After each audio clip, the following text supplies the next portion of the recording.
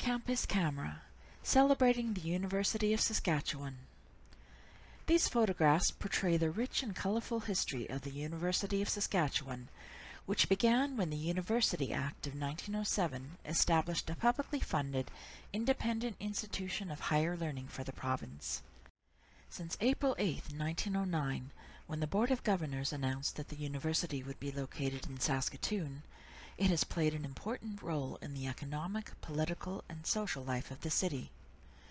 To mark the institution's first century, the local history room drew from its extensive photograph collection a celebration of the university, focusing on the social aspects of the relationship between town and gown, and highlighting such aspects of student life as the snake dance, Sadie Hawkins, Frosh Week, the intensely vigorous College Nine, sports rivalries, and campus celebrities.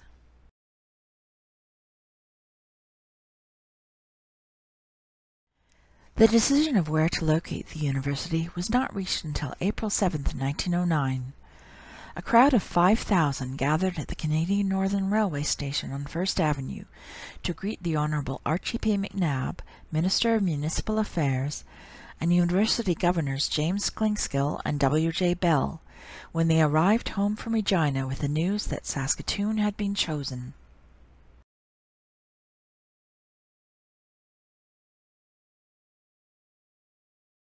On the afternoon of May 4, 1910, the first sod of the present site of the university was turned by Chancellor Edward Ludlow Wetmore, Chief Justice of Saskatchewan.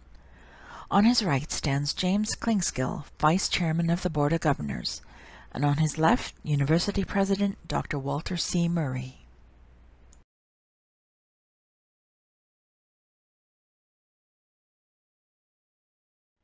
On July 29, 1910, Sir Wilfrid Laurier, then Prime Minister of Canada, came to Saskatoon for the laying of the cornerstone of the college building. It was Sir Wilfrid's first visit to Saskatoon, and a large number of notables were in the city to see him. Lieutenant Governor Forget, Reverend Principal Lloyd of Emmanuel College, James Clinkskill of the Board of Governors, and the Honourable Walter Scott, Premier of Saskatchewan, took part in the ceremony.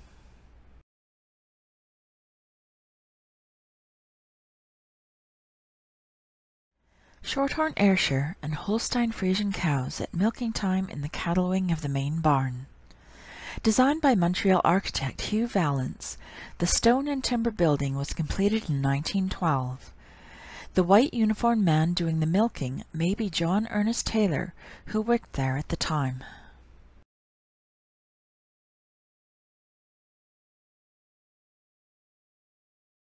Students stand outside the livestock pavilion on a cold day in 1915.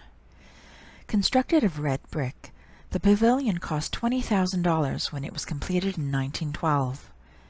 It was roofed with slate shingles except for the upper quarter, where translucent glass allowed for natural light. It served as the major teaching and demonstration facility for the Department of Agriculture. The livestock pavilion was demolished in 1986.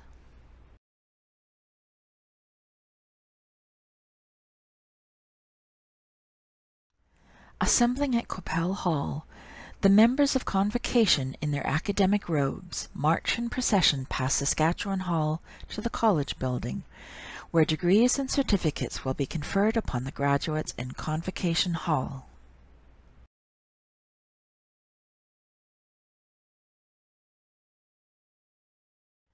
Bread and jam was the snack of choice for these five university students. Durward White, the young man on the left, studied pharmacy at the University of Saskatchewan in 1923-24 after apprenticing for three years at the Wright Drugstore in Moosomin. After graduating, White operated the drugstore in Wawota from 1926 until his death in 1953.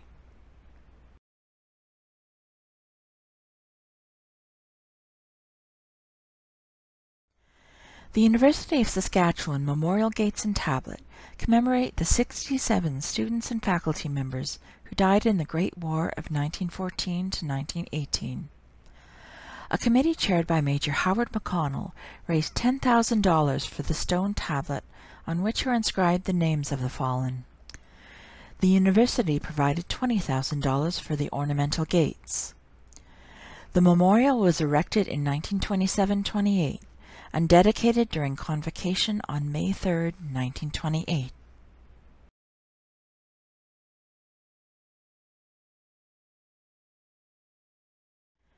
The University of Saskatchewan has produced many world champions. Among them is this regal fowl. Lady Victorine, a barred Plymouth Rock pullet, produced a record 358 eggs in 365 days in 1928-29. Fame is fleeting. Lady Victorine's world record was surpassed in 1930 by a black Orpington pullet from Australia.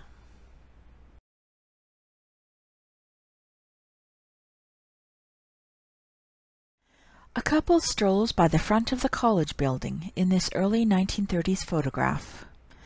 Constructed between 1910 and 1912, the University of Saskatchewan's first building was the hub of campus life.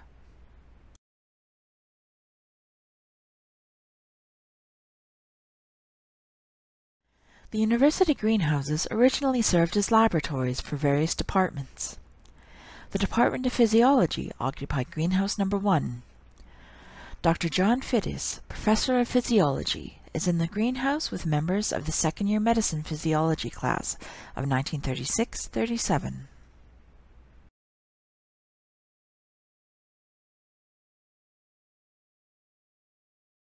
Before the construction of Rutherford Rink, University of Saskatchewan students played hockey outdoors. The varsity rink measured 100 feet by 200 feet with a 10-foot-high fence to provide protection from the prairie north winds. Located near the university barns, drainage from the barns often resulted in yellow ice.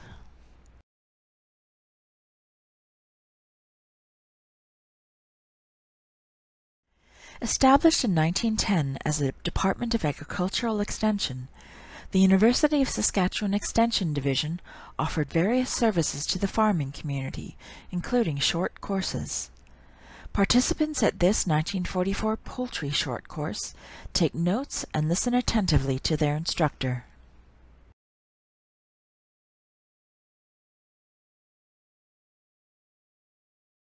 Putting your best foot forward at the University of Saskatchewan as these college kids go through their exercise routine with the precision worthy of Busby Berkeley.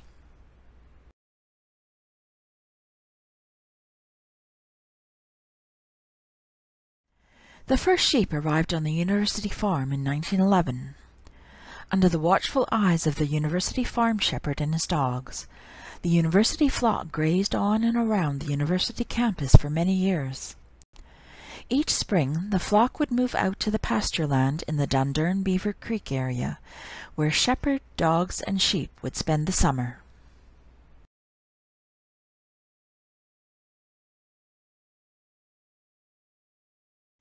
Students run a mixed relay race at Griffith Stadium.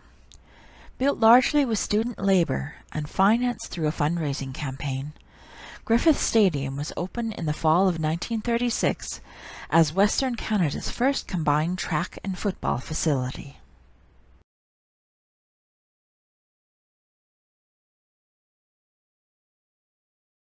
Students from the S11 and S12 classes at the University of Saskatchewan 1949 Summer School present a display of mass calisthenics.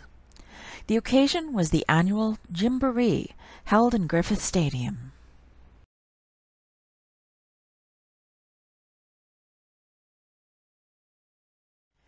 Dances were the major social events of the year for university students. They were held either in Convocation Hall or in a hotel ballroom downtown. Under the watchful eyes of chaperones, these couples kick up their heels and kick off their shoes on the floor of the Convocation Hall in 1949.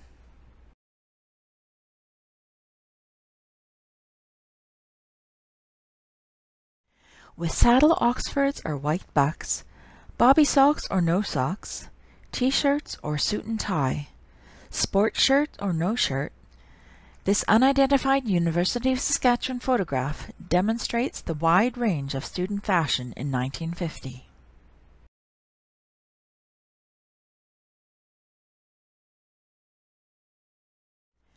With the boys in pleated drapes and the girls in bobby socks and cap-sleeved blouses, these 1950 students square dance before an appreciative audience in the university gymnasium.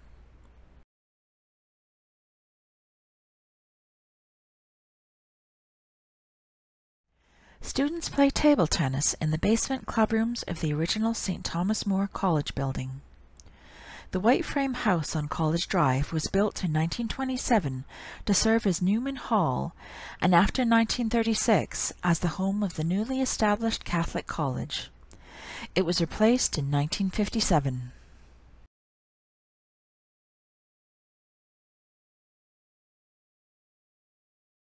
These students are studying in the reading room of the newly completed Murray Memorial Library.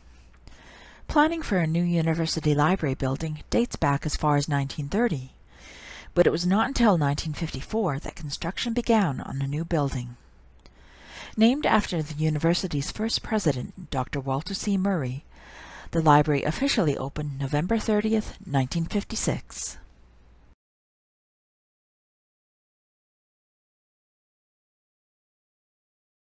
The intensely vigorous College Nine, all fourteen of them, strike a pose on their float for the annual Frosh Week parade. This incarnation of the band included Jim Friesen, Dwayne Cott, Bruce Rawson, Wayne Jenner, Gord Sipko, Sam Filer, Bill Alexander, Jay Handel, Bruce Haig, Jack McDonald, Bobs Caldwell, Bill Cram, David Natition, and Bob Burchill.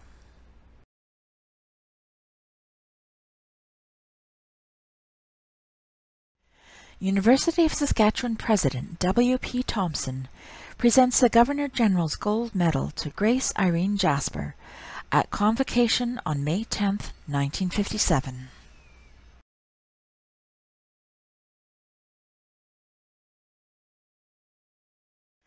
A long line of snake dancers winds its way through downtown Saskatoon. Starting at Griffith Stadium, some 1,000 freshmen snake danced their way along College Drive, down Moreau Avenue to 12th Street, and down 12th to Five Corners. Repairs to the University Bridge in the fall of 1957 forced them to take the Broadway Bridge. Downtown, many co-eds saw the inside of a beer parlor for the first time shouting, We want a pub in the mub. They danced through the Capitol Theatre and barged into the arena where wrestling was in progress, before dispersing at the Legion Hall.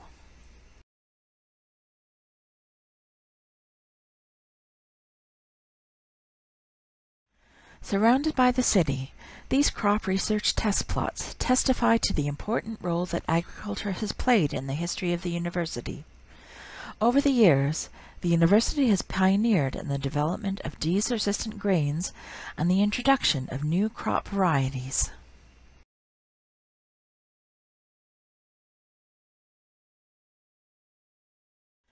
A snowy day at the University of Saskatchewan as students walk past Saskatchewan Hall in the winter of 1969. The physics building can be seen in the distance.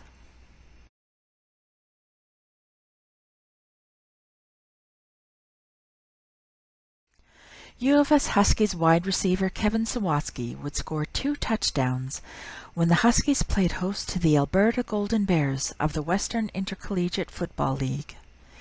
Despite his efforts, the Huskies would be defeated by Alberta 26 to 21 in this October 1983 game.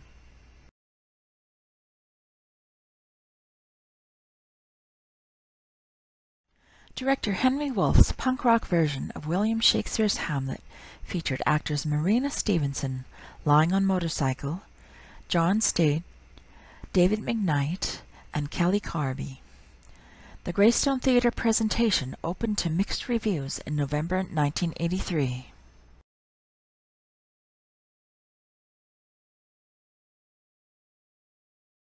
Pranks and practical jokes are a regular feature of campus life. A crowd of students watch two successful contestants carry the greased pig in the Greased Pig contest sponsored by Vocational Agriculture.